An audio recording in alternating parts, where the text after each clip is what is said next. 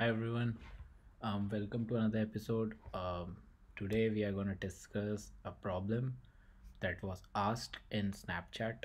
Um, the problem states something like this: um, Given a string, find the length of the smallest window that contains every distinct character. Characters may appear more than once in a window. For example, given this word, you should return 5. Um, to better understand this problem, um, let me draw it and show how it works. So, say, okay, so the word here is something like this U I J I T S U. Now they want to know what is the length of the string, substring or a string where you get unique characters. Let's say, for example, if you see this substring, which is length 3, it's it's it's continuous because a substring is a continuous uh, string of character uh, array of characters so the length here is 3 similarly if i try to add this character here it will become a length of 4 but you see it's no more has unique characters. So so that way i need to output the longest substring that has unique characters. So in our case one solution would be if i have a substring this which is of length 5 uh, the other substring could be this which is also of length 5 so you just need to return the length and you don't care about the exact characters involved in that interval. So what is the way we can solve this? Um, one way that comes to our mind is let's let's first figure out all possible substrings right? All possible substrings will include let's say j comma i. Let me write it like this. Uh, yeah so one is j i u j i t s u then j i j u. Sorry. It should be i u u j i again i t similarly j i u. So in order to generate all possible substrings it takes o of n square right? And then once you have all the substrings um, then you iterate over each to see uh, which one has the unique characters and which is which is of the longest length. But can we do better? For sure. So let's look at another approach. That is much quicker and faster. So let me type here g i j t s u so we are gonna make use of uh, two something called as two pointers. So it's it's a two pointer problem where i consider let's say two variables. One is start okay one is end right? And uh, one more assumption that the problem gives us is all the characters are lowercase. So that means it has mo- most possible characters that it will have will be 26 characters which is from small a to z. So it will belong to this set small a to z. So i am taking an auxiliary space. It's a constant space of 26 i'm calling it an array of ch right?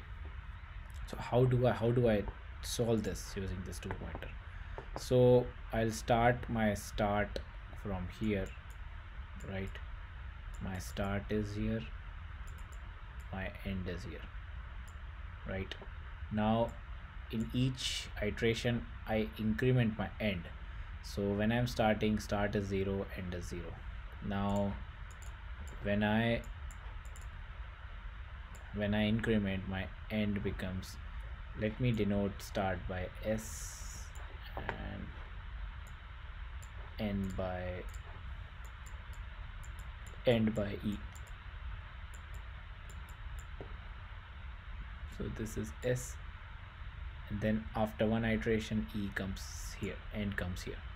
So I check whether this I whether I have encountered this character I before which is not. So I keep track of a length which is my max length till now and I update it as 2 because ji is 2 now I iterate e again. I'll remove this e.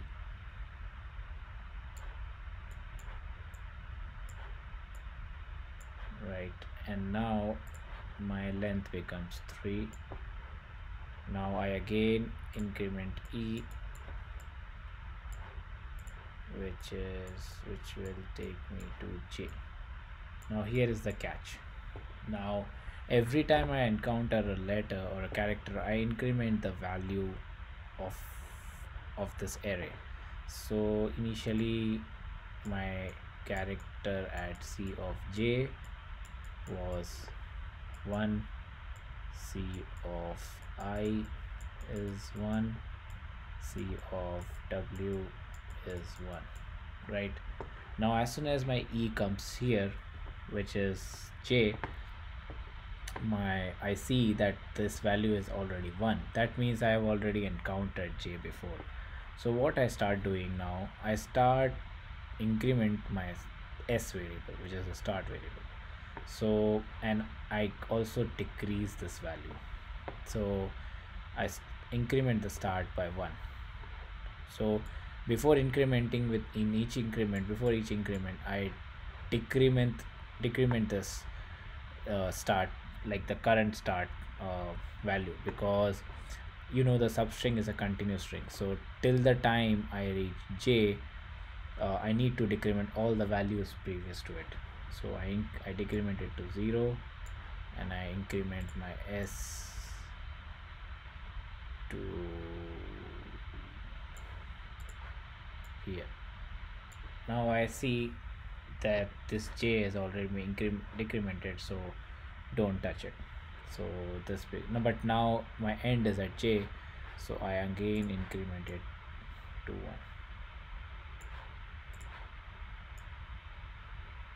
now now I increment E in another iteration which is it moves to next character. Now what happens?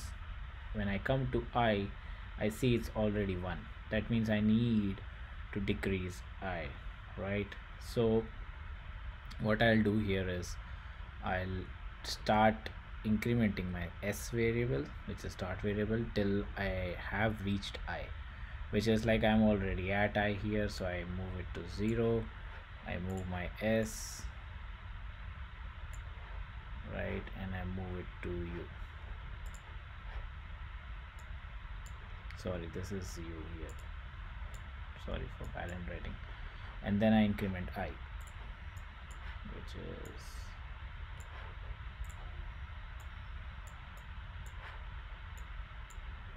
correct. So similarly I move keep moving forward because now I have I haven't encountered T and S so my E moves till here till this point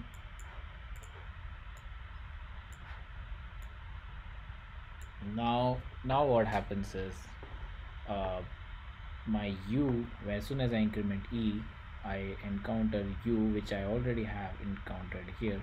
So I again do that start thing and I increment S uh, to here E to here. So and then after after I am after each iteration I am also calculating the length so I'm calculating the length as end minus start plus 1 right? So I keep keep keep the track of length as well. Uh, in this case I'll add a max check as well. That check the max between the previous length which I had calculated to the current length which I have. Um, let's let's understand this better with another example. So let me write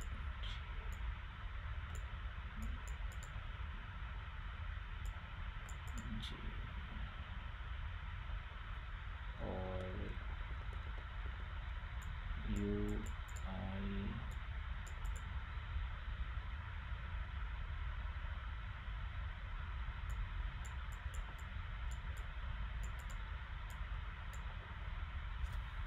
okay. So my start variable will be let me take start variable here and variable here. Let me write the pseudocode to better understand.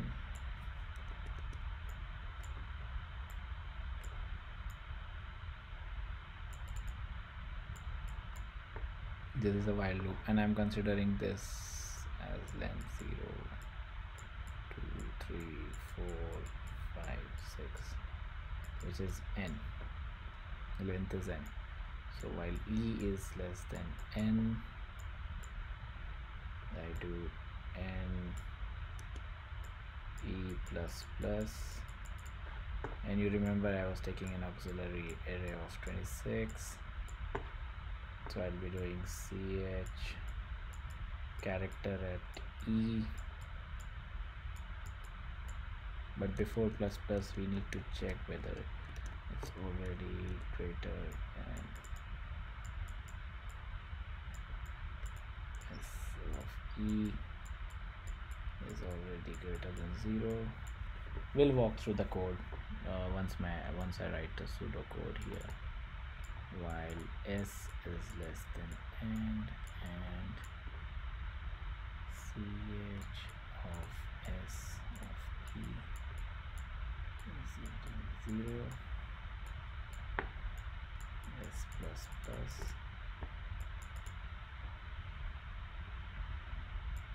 ch before that to do ch of string. So I'm considering this as capital S. So this is capital S here minus minus. And then I do again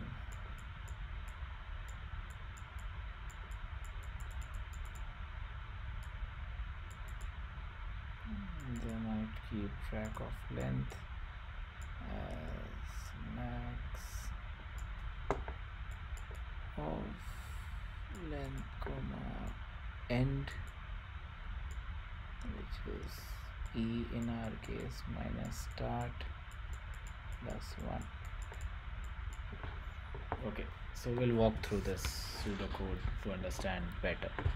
So initially my s is 0 e is 0 now I check while e is less than 6 I just correct my e becomes 1 so I move e here. So e moves here. Right.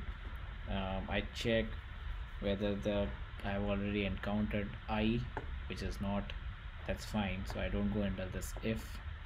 I increment i so init initially my c of u is 1 c of so before i I'll just do this because we are at the first value so it's always 1 then c of ch of i is becomes 1 now I take the length and length I find as e is 1 minus start 0 plus 1 which is 2 right?